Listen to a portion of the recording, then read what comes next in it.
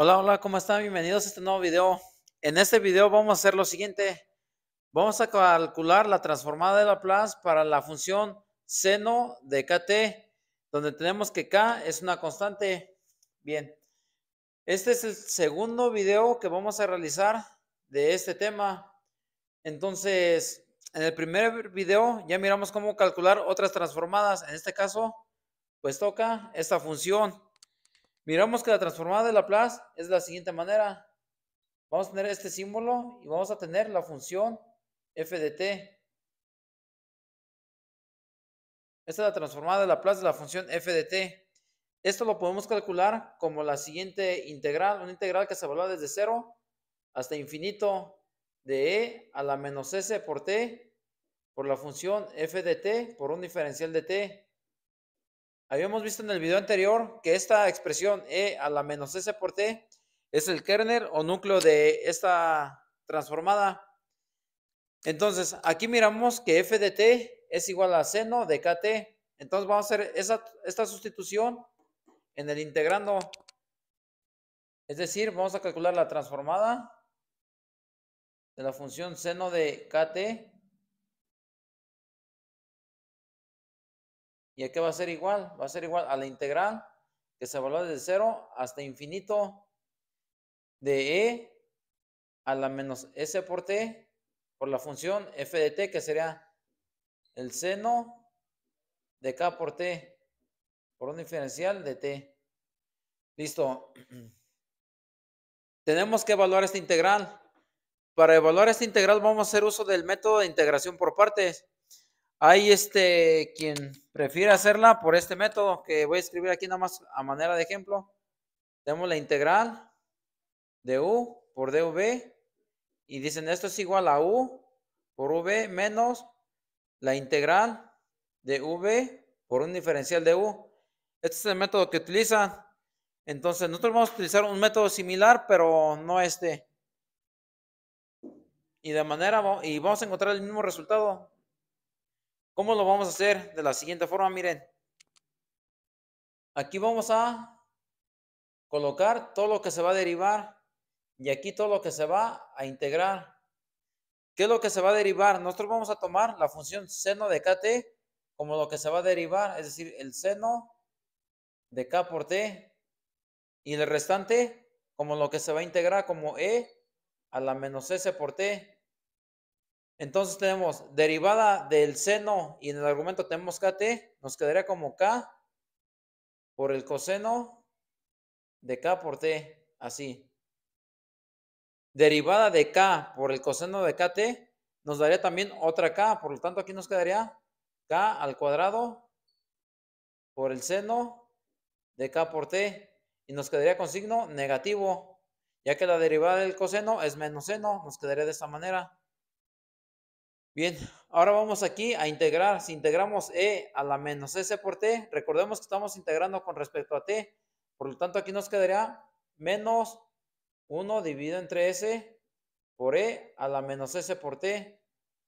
Si volvemos a integrar, nos quedaría 1 dividido entre s al cuadrado por e a la menos s por t. ¿Listo? ¿Por qué vamos a dejar este, este proceso hasta aquí? Porque si observamos, llegamos a la misma función seno de kt, que es con la que iniciamos.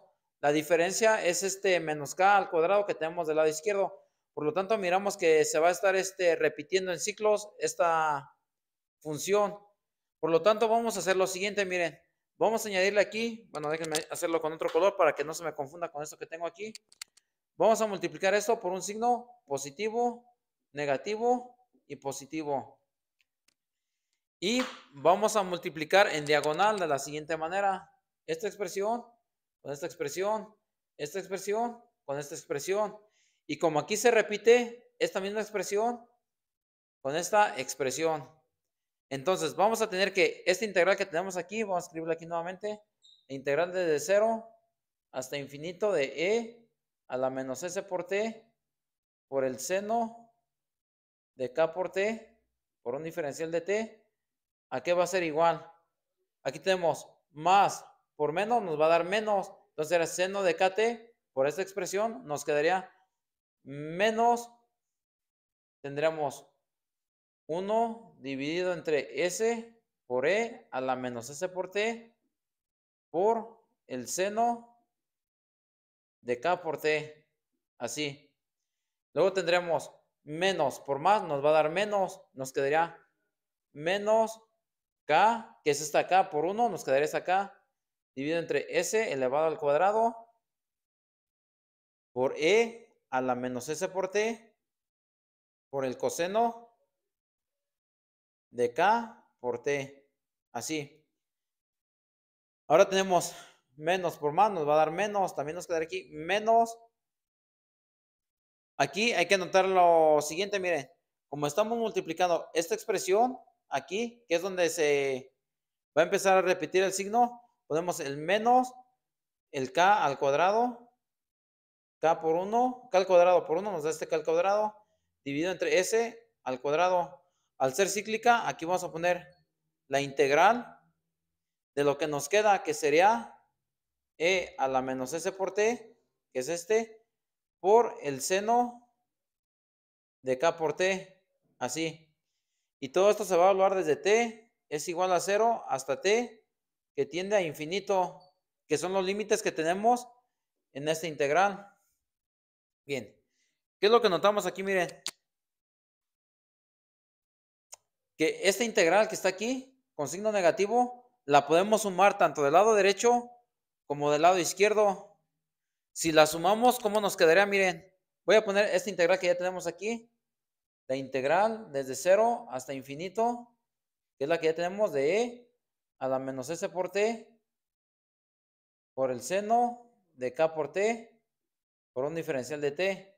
Como vamos a sumar esta integral en ambos lados, del lado izquierdo me quedaría más k al cuadrado dividido entre s al cuadrado, k al cuadrado dividido entre s al cuadrado, por la integral que se valora desde 0 hasta infinito, de e a la menos s por t, por el seno de k por t, por un diferencial de t.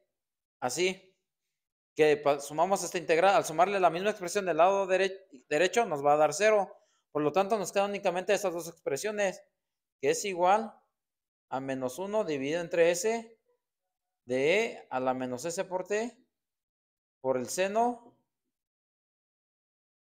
de k por t menos k dividido entre s al cuadrado de e a la menos s por t por el coseno de k por t que se va a evaluar desde t es igual a 0 hasta t que tiende a infinito. Listo. Bien. ¿Qué es lo que vamos a observar aquí? Miren. Estas dos integrales son iguales. ¿Qué es lo que las diferencia únicamente? El coeficiente que tienen del lado izquierdo. Aquí tengo un coeficiente k al cuadrado dividido en 3 al cuadrado. Y acá tengo un coeficiente 1. Por lo tanto, nosotros podemos escribir todo lo que se encuentra del lado izquierdo de la siguiente manera. Como vamos a hacerlo aquí y ahorita lo borramos. 1 más k al cuadrado dividido entre s elevado al cuadrado. Si hacemos la suma, ¿a qué es igual? Va a ser igual a s al cuadrado, s al cuadrado entre 1 por 1, nos quedaría s al cuadrado, es decir, s al cuadrado entre 1 a s al cuadrado, a s al cuadrado por 1, nos queda esta expresión, más s al cuadrado entre s al cuadrado a 1 por k al cuadrado, nos quedaría k al cuadrado. Listo, este sería el coeficiente que nos quedaría al realizar la suma de estas integrales. Y, de, y nos quedaría esta expresión por la integral de 0 hasta infinito de todo lo que tenemos del lado izquierdo. Entonces, ¿qué es lo que va a pasar aquí? Miren, si nosotros multiplicamos en ambos lados por el recíproco de esta expresión, es decir, por s al cuadrado dividido entre s al cuadrado por k al cuadrado, esto nos va a dar igual a 1. Por lo tanto, entonces podemos escribir todo lo que está del lado izquierdo por de la siguiente manera, como la integral de 0 hasta infinito de e a la menos s por t por el seno de k por t por un diferencial de t igual al recíproco de esta expresión, que será s al cuadrado dividido entre s al cuadrado más k al cuadrado. Así mire, s al cuadrado más k al cuadrado. ¿Y a qué va a multiplicar esta expresión? Esta expresión va a multiplicar a todo lo que tenemos del lado derecho. vamos a ver qué es lo que nos queda del lado derecho. T tiende infinito. Si nosotros vamos asignándole valores cada vez mayores a t en esta primera expresión, ¿se dan cuenta? Tengo un exponente negativo, por lo tanto, esta expresión va a ser igual a cero o va a tender a cero. Entonces, toda esta expresión va a ser cero. De manera similar con esta otra expresión, si le vamos asignando a t valores cada vez mayores, esta expresión va a tender a cero. Por lo tanto, toda esta expresión también va a ser cero. Y al aplicar el límite inferior, cuando t es igual a cero, aquí tendríamos e elevada a la menos s por cero, que nos quedaría e elevada a la menos cero, que sería igual a 1. Pero si sustituimos t por cero aquí, nos quedaría seno de cero. Seno de cero multiplicado por esto nos va a dar cero. Ahora bien, si aplicamos el límite inferior en esta expresión, nos quedaría coseno de k por cero, es decir, coseno de cero. Esto sería igual a 1. Entonces, al sustituir aquí t por 0, nos quedará también e a la 0, que también será igual a 1. Y al aplicar el límite inferior, este signo negativo cambiaría a positivo. Por lo tanto, estas dos expresiones es igual a 1. 1 por esta expresión nos quedará únicamente k dividido entre s al cuadrado. Así. Y únicamente tenemos que simplificar. ¿Esto a es igual? S al cuadrado entre S al cuadrado es igual a 1. Recordemos que para la transformada de Laplace, S siempre va a ser mayor que 0. Por lo tanto, podemos simplificar de esta manera.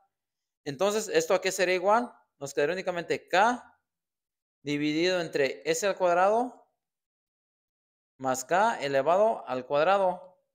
Y listo, miren, esta expresión es el resultado de evaluar esta integral que también es el resultado de evaluar esta transformada. Por lo tanto, tenemos que esta expresión también va a ser igual a la transformada de Laplace de la función seno de k por t.